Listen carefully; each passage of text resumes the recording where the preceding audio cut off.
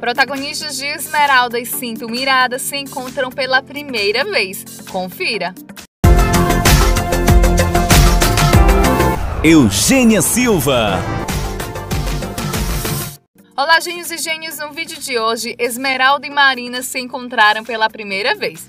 Uma história possibilitou o encontro de duas protagonistas de telenovelas de diferentes épocas nas instalações da Televisa. Esta é Esmeralda, telenovela que Letícia Caldeirão estrelou a primeira versão do mesmo nome em 1997. E esta é Cláudia Martins, que em sua estreia apresenta a segunda produção mexicana intitulada Cinto Mirada.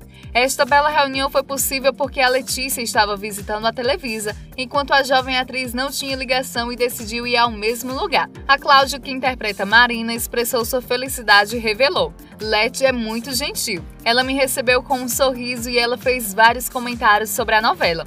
De acordo com Cláudia, Letícia Caldeirão gostou de tudo sobre esta nova versão de Esmeralda e as cores da comédia que estão entrando nela. No Brasil também teve uma versão dessa telenovela em 2004 e 2005, intitulada também de Esmeralda. Foi protagonizada por Bianca Castanho e Cláudio Lins. Então foi isso, pessoal. Espero que vocês tenham gostado. Comentem abaixo o que vocês acharam. Se inscreva no canal para mais novidades. Se você quiser assistir essa telenovela, basta você clicar nesse vídeo que está aí na tela. Conheça o canal Fala Gênio, nosso site, o link está aqui na descrição do vídeo. Um super beijo, tchau, tchau e até o próximo vídeo.